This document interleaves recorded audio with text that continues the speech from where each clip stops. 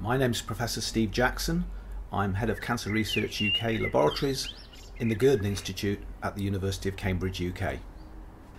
The thing that motivates me most is that in scientific medical research, such as mine, there is the potential to discover things and or identify new opportunities that no person on planet Earth has ever done before.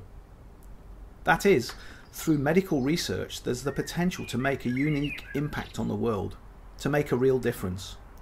This is hugely motivating and exciting.